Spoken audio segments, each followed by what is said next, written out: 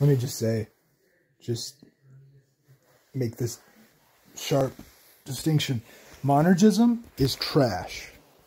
Utter trash.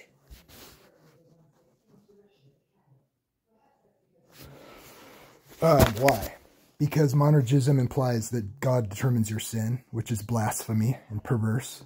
And um, if you believe the atonement is for all people and that Jesus died for all, and that that's actually actuated and applied through faith, which is a volitional decision, because everybody knows in their heart that they made a volitional decision.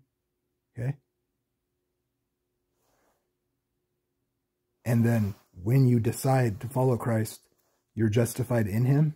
That's why the Bible's replete with over and over and over and over saying you have to do something. That is synergism. And praise God, that's the truth.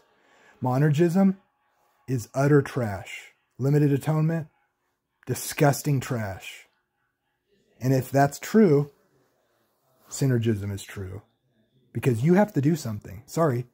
And by the way, saying I didn't do anything, I'm just choice meats by birth, you know, is is a kind of backdoor uh, denial of righteousness and justification by faith. Because you don't really believe it's by faith. You're just a you're just a P zombie that God controls, makes believe. You're made to believe. You have to, can do irresistible grace.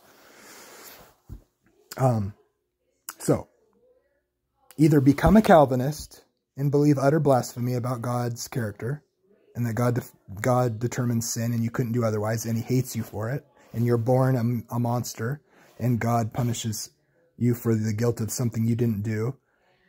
And then also he's going to punish you for what he determined you to have to do.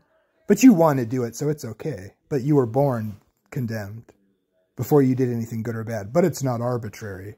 You guys are um, you guys are amazing. Ama it's a pious fraud. You're, that whole idea is a pious fraud. I didn't I didn't even want to believe. Wow, then you're garbage. You don't even you don't even have to persuade people. In fact, if you didn't even uh, evangelize, wouldn't even really matter, would it? Limited atonement is trash.